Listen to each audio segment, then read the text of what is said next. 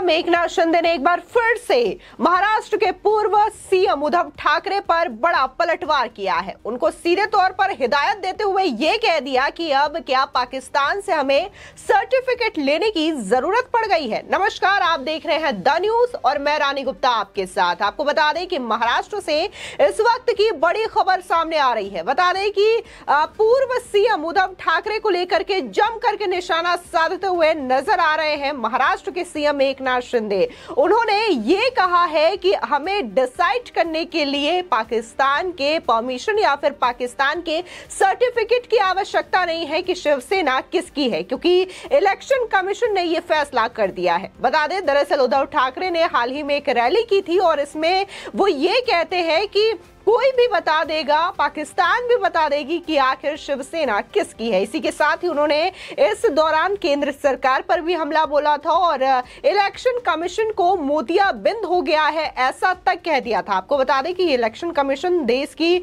सर्वोच्च संस्थाओं में से एक संस्था है जो कि इलेक्शन को लेकर के तमाम तरीके के डाटा बनाती है और कैसे चुनाव होंगे, कैसे ये चुनाव को महत्वपूर्ण बनाया जाता है, तमाम तरीके की चीज़ें करती है। लेकिन इस तरीके की किसी बड़ी संस्था को उद्धव ठाकरे के द्वारा यह बता दिया जाता है कि इलेक्शन कमीशन को तो मोतियाबिंद हो गया है, जिसकी वजह से उन्होंने शिवसेना किसकी होगी इसका फैसला किया और ये शिवसेना एक नाथ शिंदे के नाम कर दी। बता दें कि महाराष्ट्र के पूर्व मुख्यमंत्री उद्धव ठाकरे ने एक जनसभा में ये कहा कि असली शिवसेना किसकी है, ये तो पाकिस्तान भी बता देगा। इस पर प्रदेश के वर्तमान मुख्यमंत्री ने अपनी प्रतिक्रिया व्यक्त की है। उन्होंने कहा कि यह तय करने के लिए पाकिस्तान के प्रमाण पत्र की आवश्यकता नहीं है। बता दें कि इस वक्त की यह बड़ी अपडेट है। दरअसल, महाराष्ट्र के जलगांव में तेईस अप्रैल, रविवार को आयोजित एक जनसभा में उद्धव ठाकरे ने यह कहा कि उन्हें लोगों से मिल रहे समर्थन को देख करके पाकिस्तान भी बता देगा कि असली शिवसेना किसकी है। लेकिन निर्वाचन आयोग ऐसा नहीं कर सकता, क्योंकि वो मोतियाबंद से पीड़ित है। इसी के साथ ही उद्धव ठाकरे ने यह तक कह दिया कि अगर आज चुनाव होते हैं तो ये सरकार गिर जाएगी, यानी कि शिंदे और फडणवीस की जो सरकार है, वो गिर जाएगी और उद्धव ठाकरे की सरकार बन जाएगी। यहाँ पर गौर करने वाली बात ये हो जाती है कि जब पिछले बार विधानसभा के चुनाव हुए थे महाराष्ट्र में, तब बीजेपी और शिवसेना ने गठबंधन करके ये चुनाव लड़ा था। और कहीं ना कहीं जिस तरीके से रैलियाँ हुई थी और पिछली बार देवेंद्र फडणवीस वहाँ के सीएम थे तो ऐसे में एक बार फिर से यही डिसाइड किया गया था रैलियों में भी कि अगर ये सरकार बनती है तो देवेंद्र फडणवीस ही महाराष्ट्र के मुख्यमंत्री होंगे। लेकिन इसके बावजूद जो है, इसको लेकर के वहाँ पर टूट मच जाती है और इसके बाद शिवसेना जो है, बीजेपी से अपना गठबंधन तोड़ करके उद्धव ठाकरे सीएम बन जाते हैं, क्योंकि उन्हें यह पसंद नहीं था कि देवेंद्र फडणवीस एक बार फिर से महाराष्ट्र के सीएम बन जाए। फ़िलहाल उद्धव ठाकरे के इस बयान के बाद मुख्यमंत्री एकनाथ शिंदे ने अपना रिएक्शन दिया है। उद्धव ठाकरे पर निशाना साधते हुए उन्होंने कहा कि गाँव में किसी ने कहा है कि पाकिस्तान को भी पता चल जाएगा कि असली शिवसेना किसकी है। ये दुर्भाग्यपूर्ण और बेहद दुखद है कि शिवसेना किसकी है।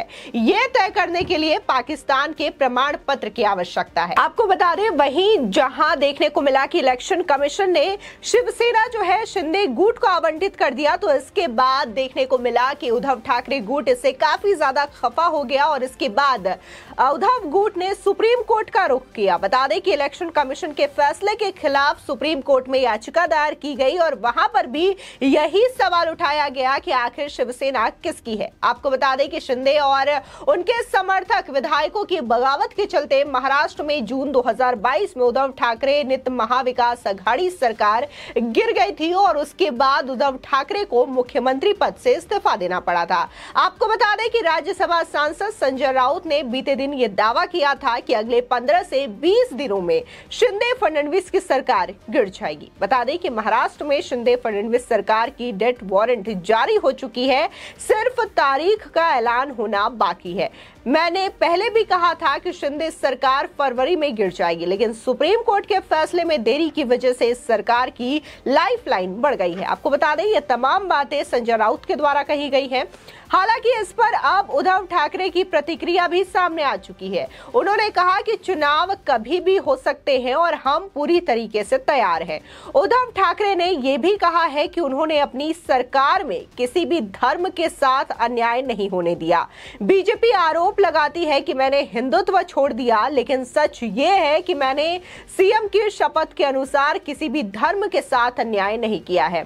आपको बता दें कि महाविकास अघाड़ी में एनसीपी, कांग्रेस के साथ शिवसेना भी शामिल थे और कहीं ना कहीं इन तीनों ही पार्टियों में अपनी अपनी खींचतान चलती थी। लगातार इनके मंत्री और कई सारे ऐसे नेता हैं जिन पर करप्शन के भी आरोप लगे हैं और इस समय वो जेल में है। जिस तरीके से महाविकास अघाड़ी सरकार में महाराष्ट्र चल रही थी, इससे जनता कहीं ना कहीं त्रस्त थी, क्योंकि अब जो तमाम चीज़ें देखने को मिल रही है, जब से एक नाथ शिंदे वहाँ के सीएम बने हैं महाराष्ट्र के, तमाम लोग हैं लगातार उनसे जुड़ते हुए नज़र आ रहे हैं। कहीं पर भी अगर रैलियाँ होती है एक नाथ शिंदे की तो लोगों की जो भीड़ है वहाँ पर मौजूद होती है, और ये भीड़ दर्शाती है कि महाराष्ट्र में एक नाथ शिंदे की सरकार से वहाँ के लोग कितने ज़्यादा खुश हैं। आपको बता दें कि जिस तरीके से रैली में उद्धव ठाकरे ने ये कहा है कि चुनाव आयोग को मोतियाबिंद हो गया है मोतियाबिंद से पीड़ित है, जिसकी वजह से उन्हें ये नहीं दिखाई दिया कि शिवसेना किसकी है। आपको बता दें कि जिस तरीके से इलेक्शन कमीशन ने फैसला सुनाया था और तीर धनुष, यानी कि चुनाव चिन्ह और पार्टी का नाम दोनों ही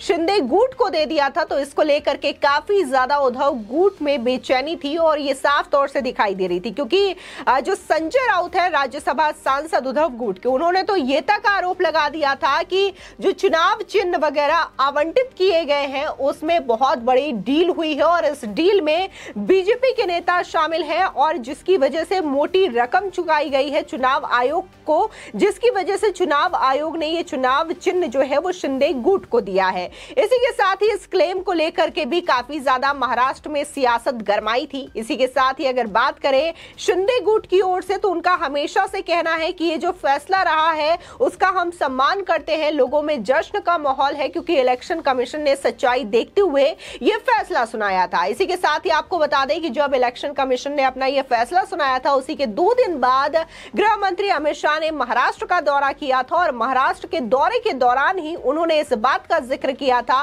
और उन्होंने कहा था कि ये जो फैसला है, वो लोकतंत्र की जीत को दर्शाता है क्योंकि इलेक्शन कमीशन ने साफ़ और स्पष्टीकरण तरीके से, यानी कि क्रिस्टल क्लियर तरीके से यह फैसला सुनाया है कि शिवसेना किसकी है और किसका हक शिवसेना पर बनता है।